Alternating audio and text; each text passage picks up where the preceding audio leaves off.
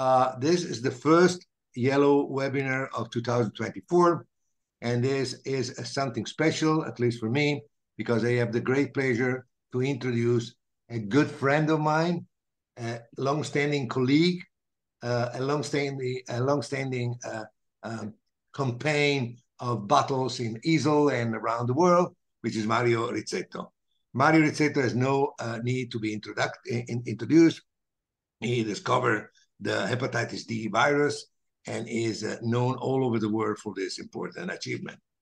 And the title of today it's uh, hepatitis D: New Developments, and Mario is honorary professor of gastroenterology at the University of Turin, and has uh, um, um, served as a as an editor and uh, secretary of EASL in uh, different uh, occasions, and is an outstanding scientist and good, an outstanding human being.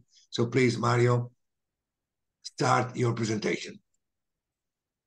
Thank you, Claudio. My pleasure. And uh, I greet and say good afternoon, my time, to all participants. So the issue is hepatitis D or Delta virus. And I'll spend a few slides. Uh, I spend a few slides of background, such as the one you see here. So the hepatitis D virus or Delta virus is unique in human pathology because it's very small. It has a genome of about 1700 K, uh, nucleotide bases. And being so small, it's unable to code on its own for structural protein, surface protein, or for enzymatic protein of its own. Thus, it is defined as a defective virus, which is dependent for its life cycle on the hepatitis B virus.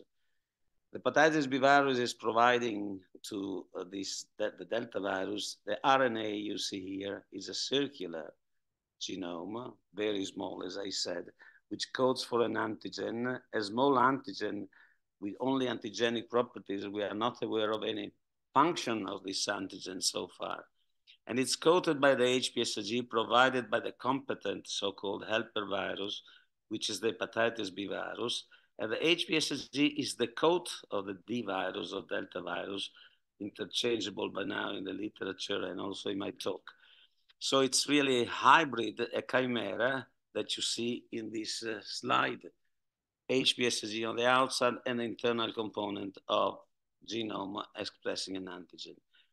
The, the face, uh, the true face on the electron microscopy of this virus is shown on the right.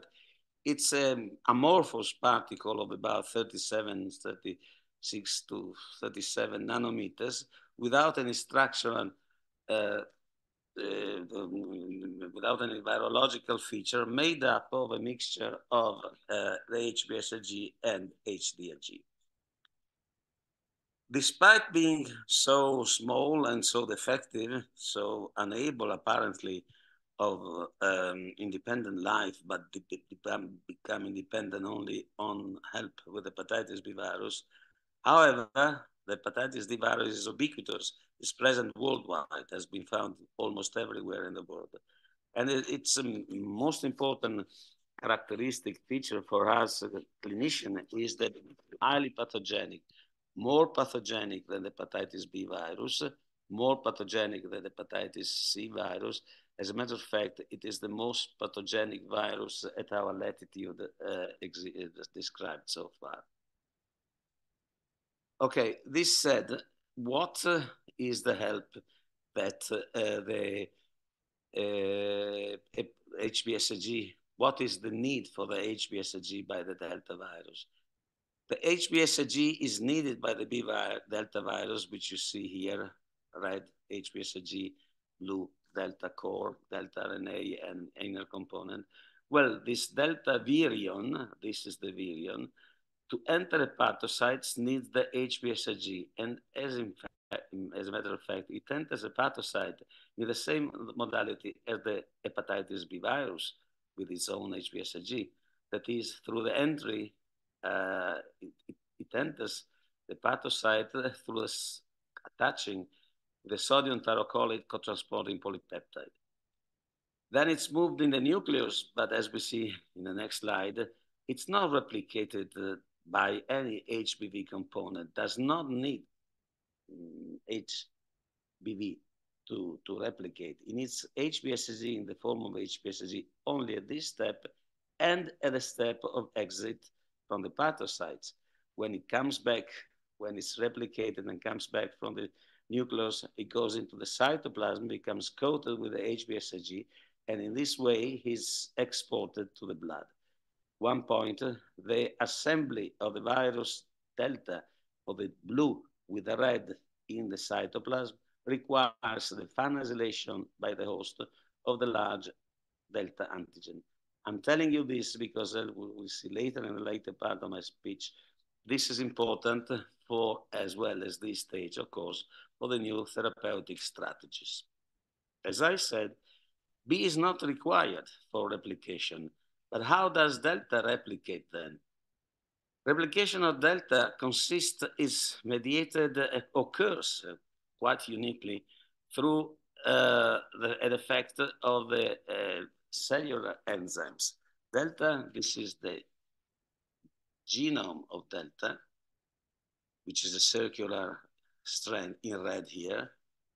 For the replication, is a linear strand of multimeric delta uh, length, the infectious length size, is rolled over the over the genome, and then it's cut by the ribosome so that uh, delta possesses a ribosome. Ribosome is again a unique thing to delta because it's a OD. It's an RNA stretch, stretch of delta, about 100 nucleotide, which is self-cleaving. It's a segment of the virus, of the RNA virus, which uh, uh, possesses the uh, genetic information, but also acts as a, like an enzyme and cuts the RNA, uh, the RNA multimeric evolving chain rolling over the antigenome into linear um, segments of infectious unit. This uh, is possible thanks to this unique ribozymic activity of the virus. Then the linear segment cut by the ribosomes are linked together into a circle and, sorry, and ligated into the infectious antigenomic unit. The clearance of the, gen uh, the um, replication of the genome occurs through the same mechanism based, however, on the antigenome as a template. Now, the important point is, as you see here, is that this uh, mechanism is mediated by the host RNA polymerase. Sorry, Delta is not replicated by a known enzyme, a polymerase, viral polymerase, or a viral uh, protein like B or C. It's replicated directly by the RNA polymerase of the host, which uh, recognize the RNA of delta as a DNA of their own of their own cell. So the, the, the, the RNA polymerase is deceived by the RNA of delta to replicate itself instead than uh, DNA, organic uh, endogenous RNA. As we'll see later on, this is very important because then there is no way we can attack Delta by common antivirals, which are directed against the replicative enzymes of the virus itself. In other words, the enzymes that the virus is producing for its own, like the protease and the polymerase of the hepatitis B and C virus. This said on uh, recapitulating the basic features of Delta. Let's go then to the natural history and epidemiology. How do we make the diagnosis? It's quite simple by now. We, we check for HDV markers, serological markers in, uh, in blood, of course. And this has to be done only in HBsAg positive patients because uh, it does delta, as far as we know so far, at least the human delta doesn't this human delta that does seem to exist except in the presence of HBsAg positive uh, uh, status. So screen screening test for Delta is the antibody to Delta. Antibody to Delta is available commercially, especially in high income countries, in Europe and US, and in, uh, in um, as I said, in, in the Western world, is well standardized. It means exposure to the virus. Usually, this exposure is translated in infection, in current infection, but it can also be present in patients who have experienced hepatitis D infection, have resolved it, and so as a marker of past infection. This is very important to remember from an epidemiological point of view.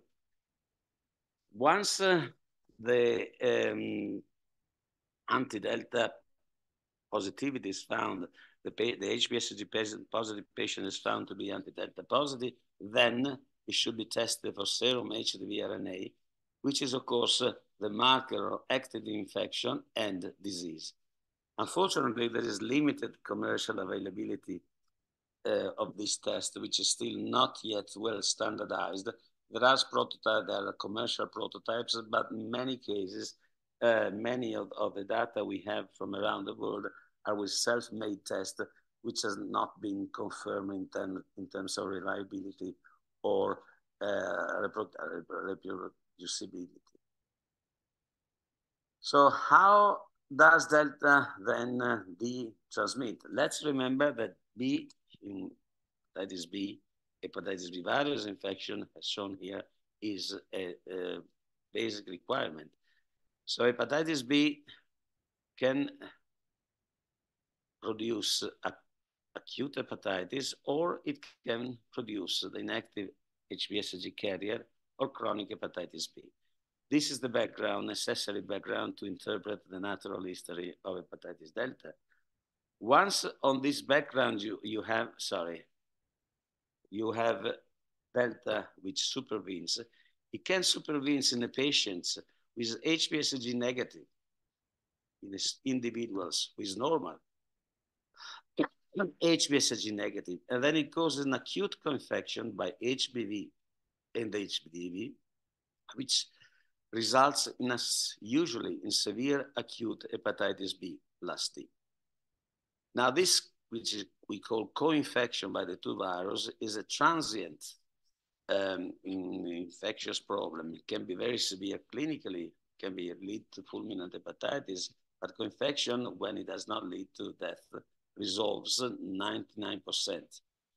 In fact, the incidence of acute HDV infection, acute HDV, HDV infection per million inhabitants in Italy has um, dramatically declined. It was low in 1987, but now, according to the study of Strofolini, is only 0, 0.4% in the, the recent year. So at least in our country, in Italy, it's not any, any problem, acute co-infection anymore. It's still a problem, however, in areas of the world where the um, infection remains rampant.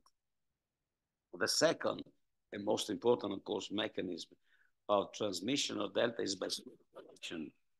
By superinfection, we intend the carrier of the HBsAg, either asymptomatic or already uh, diseased by the HPV, which becomes superinfected by Delta.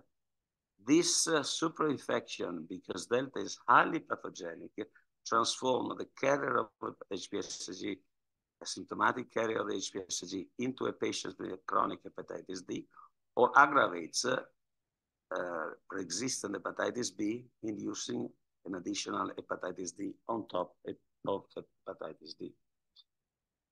In fact, studies performed by Dr. Fatovich uh, and the, all the literature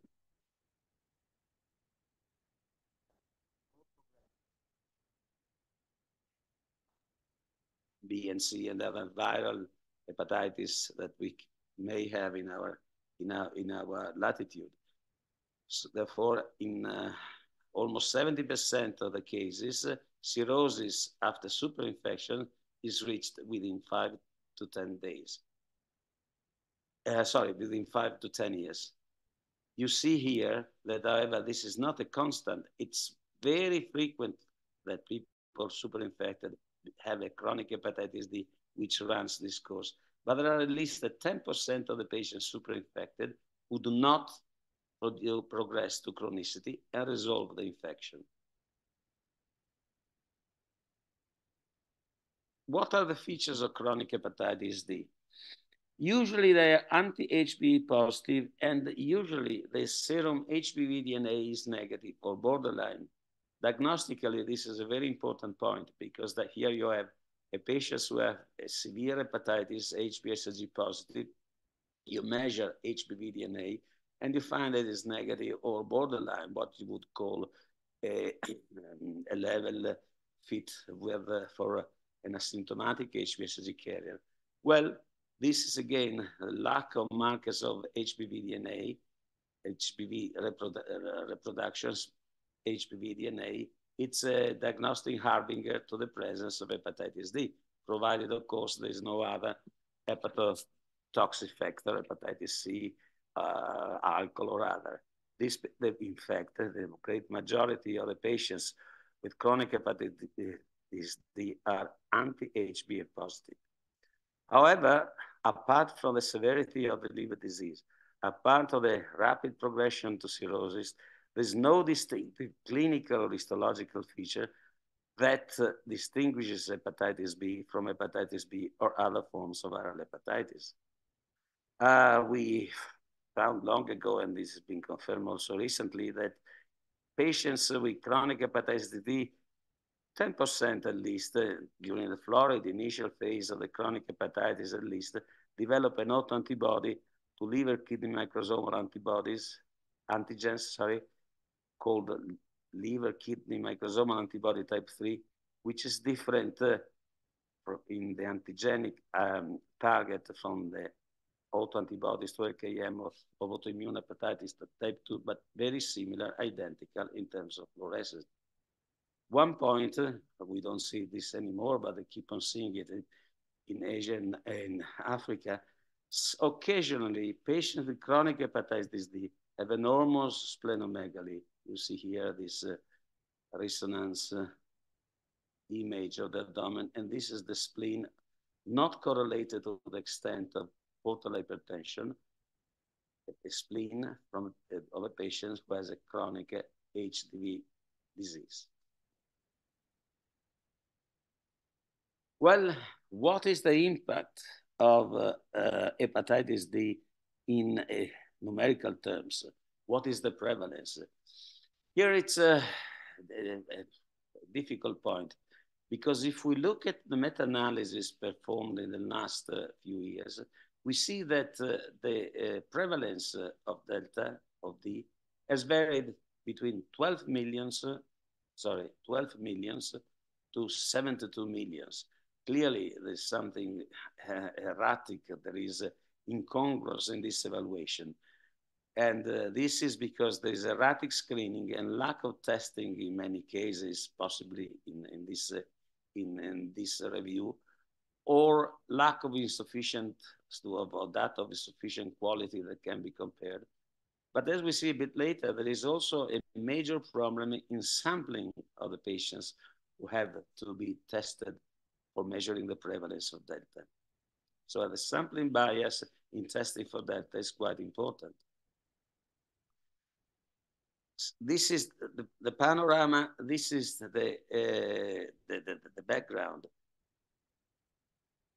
We have to remember that uh, in the last 30 years, uh, we have a, a vaccination against hepatitis B, which is available at least in high income countries, and now is available in many middle income and middle low income countries throughout the world. And of course, because uh, HDV depends on the HBV, vaccination, the optimal success in many areas of vaccination against hepatitis B is changing or has changed already the epidemiology of HDV, diminishing, of course, the prevalence of this infection as cutting HBV uh, infection, diminishing the number of HBsAg carriers, you are cutting the grass upon which HDV can thrive and survive. So in fact, in high-income countries, I intend as high-income countries, all Europe, North America, Australia, Japan, well, the control of HBV, which is optimal after 30 years of vaccination, has led to an optimal control of HDV, which means that HDV has much declined in this country in the last 30 years compared to the first time we described Delta in the early 80s. However, this is not only in high-income countries, but HPV vaccination has now been implemented in many other countries. AIDS with control uh, uh, in these countries, other than the high-income countries, is dependent on the baseline prevalence of HPV, duration of the vaccination program, which is in many or shorter duration than in industrialized world, and delivery facilities, which have led to uh, availability of the vaccine. So if we try to have a picture of, of a, a tentative picture of the prevalence of hepatitis D in the world by now, the only thing that we're certain of is what happens in the yellow countries, which is, of course, countries of, as I said, uh, high income or uh, countries in in uh, in yellow, uh, countries in um, South um, uh, America where historically the prevalence of Delta was low, and we know that in a yellow country the prevalence now Delta is low or very low in domestic populations. However, it's coming back in the last 20 years in immigrants who come to Europe, who come to the US, in Europe from Romania, in Europe from um, Russia, in uh, United States, from China, from Mexico, and uh, the prevalence, the number of patients are re researching in these areas of, of low domestic prevalence because of influx of immigrants. There are intermediate areas that we can, that are depicted in green light, where vaccination is on track and it has already diminished the delta infections, but yet the, the diminution is intermediate. Then there are areas in green, dark green, oh, sorry, especially those in Africa and in uh, India and part of China, where the prevalence uh, seems is intermediate. It's a bad term intermediate, but that's what I can say in terms of quant in, uh, quantitative quantitation and uh, the data, however, many, for many of these countries are not reliable. And then there are the countries, the poor countries, usually the most poor countries of the world, Central Africa, Central Asia, where the prevalence instead of Delta is very high. And this is because the prevalence in these countries of the necessary hepatitis B endemicity remains very high. All the red countries, the rate of HBsAg carriers in the population is more than 3%. In many parts of Africa, more than 5%. So this is the big epidemiological picture that we can depict the present. And as I said, the only certainty in epidemiological terms are the yellow countries where, for certain, the rate of Delta has diminished a lot.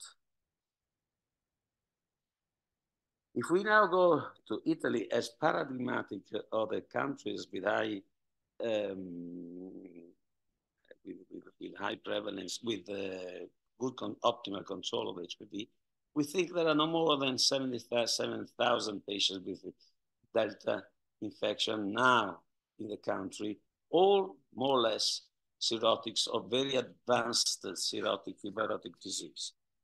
These are data from collected by my colleague Caviglia recently. In fact, uh, already in 2017, Dr. Strofolini could establish that uh, among patients, Italian patients younger than 30 years, only 3% had antibody to Delta. But as I said, paradigmatic of all what's happening in the uh, developed, developed world, HPV is replaced by immigrants.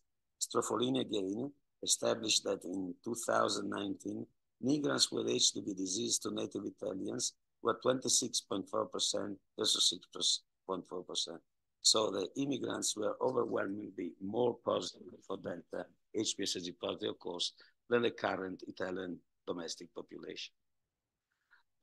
It's interesting to see that despite the very low prevalence now in domestic areas like Italy of Delta infection, however, the need for liver transplantation remains high for patients with HDV. And this is logical because there are still cohorts of long ago infected patients who now have fibrotics, as are almost all those uh, native Italians, which uh, for only the only the for, for in which to whom the only uh, solution, medical solution is transplantation. As we see here, in the last 10 years, the number of patients transplanted in Torino for HBV versus those transplanted for Delta was the same. And of course, now this number is still increasing because of the influx of immigrants. The situation is different. This is sorry, it's going automatically on its own sometimes, this computer. Uh, the situation is different in uh, Asia and Africa, in the areas, of course, where the prevalence of HBsAg is very high. The burden of hepatitis B is high, sorry for the mistake, in many countries. It's, uh, the prevalence is very well defined. The data of prevalence are often inconsistent. There are sampling bias low rates of anti-delta that are determined at convenient screening at uh, uh, blood banks in HBS carriers a small risk of HDV do not reflect the epidemiology of HBV. Global burden of HBV should be identified only in HBsAg carriers with liver disease best in cirrhosis. And this is why, because as I said, antibody to Delta would be found in 90% of patients with severe liver disease and in 10% of patients with re resolved the chronic infection. So the chances of finding anti-delta throughout the spectrum of HBsAg of liver disorders is 10 times higher in cirrhotic patients than it is at blood banks at pregnancy clinics. And simply because 90% of those who become infected with Delta become uh, infected with the virus, which generates a progressive disease. This is important in epidemiological evaluation because, as I said, many people judge the prevalence of Delta going to the blood banks and carriers at the blood banks in this area, like Asia and Africa, not going to those where it would be more pertinent to find the rate of HDV, like uh, severe liver disease. And this is shown quite nicely in recent studies in, in, where you, you, you, you look, for instance, at the prevalence of antibody to Delta in Asia, in Africa, and you see there is a big quantitative difference when the patients were the, the, the, the HDV infection was documented had a clinical liver disease, were chronic HBS carriers with severe liver disease, all those which were collected at the blood bank's pregnancy clinic. Within some areas like Egypt, if they were collected in blood banks, it's 4%. But when they were collected in, in, in the Upper Nile, in, uh, in, in, in, clinic for liver disease or in, uh, in uh, facilities for liver disease, it was 43%. And the same is true in, uh, in, uh, in Senegal and in other parts of, of, of, of, Africa. So this is to say that the prevalence of Delta that we have so far, at least from areas like, uh, like many countries of Africa and uh, Asia, it's not reliable and because it's not homogeneous, based on homogeneous um, clinical substrate. A sampling bias error that makes a lot of confusion and probably justifies the difference of prevalence worldwide, seen goes from 12 to 72 million people. So what then, uh, how should then uh, HDV be tested?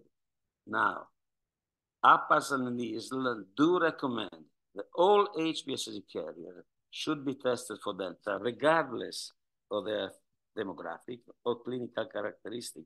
In other words, once you see an HBsAg carrier, this should be tested immediately for anti-DESTA by reflex testing. This is the algorithm of immediately testing for the antibody, regardless of the characteristic of the patients who has been found HBsAg positive.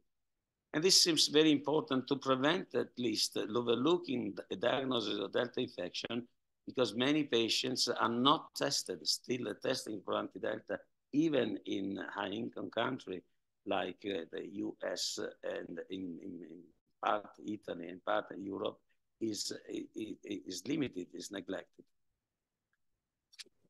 So finally, the most, uh, if you want, exciting part, uh, though still uh, waiting for, for real perspective, is uh, what's happening about therapies. What we have in terms of therapies. Well, in terms of therapies, we have, and this is the only approved therapies, at least approved by scientific societies, uh, uh, not not by by um, health, um, organization. We use have been using PEG interferon, obtaining sustained viral responses, which is the clearance of serum HDVR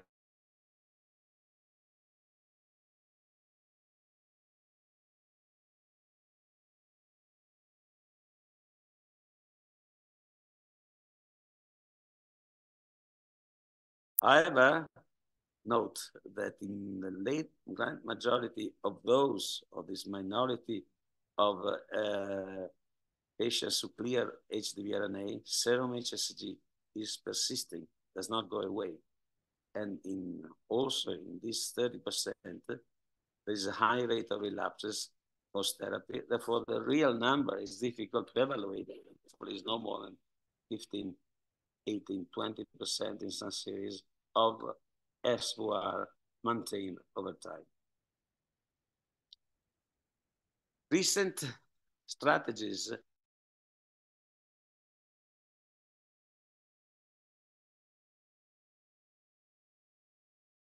is not applicable because you, you don't have a, a, a, replic a, replication machinery that can be targeted by antivirus, by conventional antivirus, like I repeat myself, polymerases and protease, well, then the targeting is uh, the, the, the, the, therapies are now targeted to the HBsAg. So they are targeted to block the entrance of the virions through the inhibition of the attachment of the HBsAg to the NTCP. Other mechanism the targeting is aimed at blocking the uh, the, the, the, the, combination, the assembly of the HBsAg with, uh, with, the, with the uh, delta by blocking the farnesylation of a del large delta antigen, which as shown before is necessary to lead to the assembly of the virion. And then there are the uh, nucleic acid polymers that apparently reduce, reduce the number of subviral HBsAg particles or empty HBsAg particles. Well, these drugs are also in study as new therapies, as new strategies to try to get reason of hepatitis D. However, there is a big which you have to keep in mind that uh, they, though the SVR paradigm has been used for, for, for, for, decades for that uh, same way as it applied to hepatitis C, for instance. Well, it does not work for HDV the, with the same efficacy. And why does HSVR, though used traditionally, that do not correspond to clearance in many times, many cases of HDV RNA? This is because we know from studies performed long ago, and now there's a review of Dr. Ponzetto in, in this. HDV was transmitted to HBsAg carrier chimpanzees by infectious serum diluted 10 to the minus 11. Here you see what is a dilution of 10 to the minus 11. It's really a, an ml, one ml of infectious serum diluted in a small alpine lake. You mix up, take one ml of the mixer, and this is still transmitted uh, to this dilution uh, delta infection to the chimpanzees. Therefore, wh why this happens? Because the HBsAg then acts as a, a trap, as a magnet to delta if it's present. In other words, if there is an HBsAg background uh, which remains in the liver many patients who have uh, cleared apparently by SVR HDV RNA. Well, if there is a remaining HBsAg background, this can rescue amounts of HDV far lower than those detectable by current assay. Only six international units per milliliter. Here we, we, we, we, we, we speak of 1 to the minus 11 dilution of serum. So, I'm oh, sorry.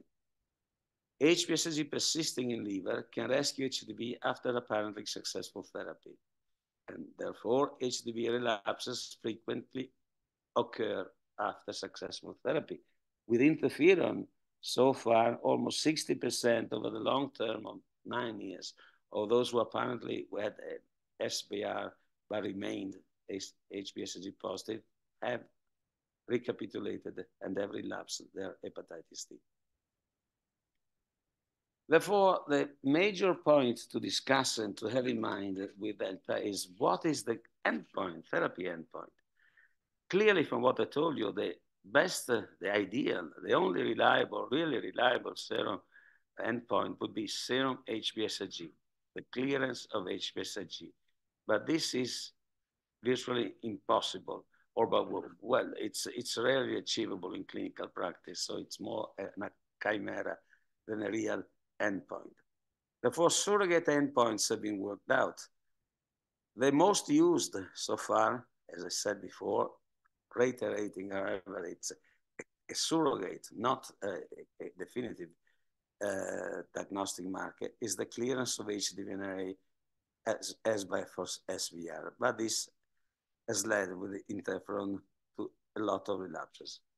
Now, according to the next expert opinion, in the last three years, with the new drugs, the endpoint has been established or has been identified also as an RNA decrease or more than two logs 10 from the initial original titer. In other words, if you decrease HDV RNA by at least two logs, this is possible uh, reliable endpoint. And this has been the, is the basis now of uh, the construction of the design of recent studies with the new drugs that I told you before, that I showed you before. This study, MYR301, has been recently published by Dr. Wedemeyer in the New England of Medicine. What he did, he, uh, let's go to the, to the most important part. He gave bulevirtide two milligrams daily, subcutaneous, to 49 patients. Sorry, but, or bulevirtide 10 milligrams to 50 patients the process, uh, the, the, the, therapeutic process is going on until one um, for three years. We now have the data at 48 weeks, those published by Wedemeyer at the, in the New England Journal of Medicine. But of course, this is ongoing and we'll have to see over the long term how it works. What are the data that has shown uh, Wedemeyer? Wedemeyer has used the clearance, the two log clearance, two log diminution of HDV RNA from baseline. According to this definition, then in this uh, 99 patients treated with bulevirtide 2 milligrams or bulevirtide 10 milligrams, sorry, let me it. 26% of them were non-responders in that they had a decline of less than 2 log 10. 16% were responders in that they had, sorry, I, I don't know what these computers goes in on its own, and there's nothing I can do. 16% uh, uh, were responders. They became negative for HDV RNA. Then uh, there are 58% of the patients which have been defined as responders in this study, at least according to the original definition response, in which the, the RNA declined by two or more log from the original viremic titer. And in these patients, uh, ALT is normal in 67 of the patients, but abnormal in remain abnormal in 38. Note that in no case of patients given bulevirtide alone, there's been the clearance of serum HBsAg. So the big problem here is that despite good data, at least from the clinical point of view, because normality of, of, of, of, uh, of ALT goes up from 67 plus 60, uh, 16 of responder. Well, what happens when you suspend therapy? Because of course, HBsAg is there, and so if some traces of HDV RNA remains which are not detectable by current assay, there is the high risk of recurrence. More exciting in a sense, but here again, uh, in, in uh, interim results, there is this study, which is uh, um, um, 200, uh, presented recently by Tariq Asselah at the last AASLD, where bulevirtide 2 milligrams, bulevirtide 10 milligrams have been given together with PEG interferon alpha versus, take it this way, bulevirtide 10 milligram alone. And we have the data at week 120 which is the primary endpoint. So people have been treated for 96 weeks, then followed for another 24 weeks to this primary endpoint. What are the results? As you see, these are the patients given combination of PEG interferon plus bulevirtide. This is the combination, the patients given only bulevirtide 2, bulevirtide 10 milligram. At end of treatment, 70% of the patients treated with a combination of bulevirtide plus interferon, bulevirtide 10 milligram, had obtained an SVR, SVR. and uh, this occurred in 44% of the patients who had been treated with PEG interferon plus bulevirtide 2 milligrams versus much lower values of uh, SVR with bulevirtide alone. However, 40, 24 weeks. Okay, are you with me? Yes. Sorry for the inconvenience, but this is the machine, and uh, I'm being. As you see here, the percentage, the sum, the, the conclusion is that the percentage of responses SVR by the combination of interferon plus bulevirtide, in particular plus bulevirtide 10 milligram is quite high, but is not maintained over time. In that, this is the end of treatment response of 70%. But if you go 24 after the uh, dismissing, discontinuing therapy, the percentage had fallen to 48%.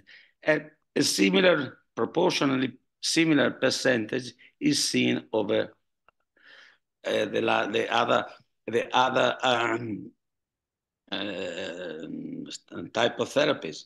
So the conclusion apparently from this data is that PEG interferon plus bulevirtide 10 milligram, at least in the, I wouldn't say the immediate, but for, for 24 months of therapy, provides a much better response in virological terms.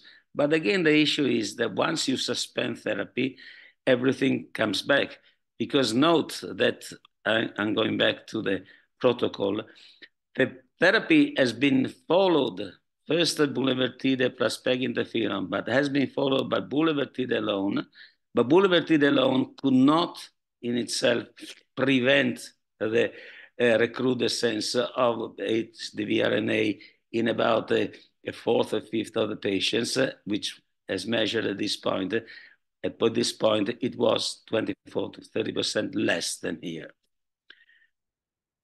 And even with uh, this combination, HBsAg has not been seen in patients treated, the clearance has not been seen in patients given interferon, has not been seen in patients given bulevirtide, but it has been seen in a minority of patients given bulevirtide plus interferon in a kind of promise that possibly this could be the ultimate therapy in terms of HBsAg clearance. Uh, it's difficult to conclude from therapy from the data available. Bulevirtide has an advantage, a conspicuous advantage of an ALT in the interim, but we don't know how this will be prolonged by therapy alone.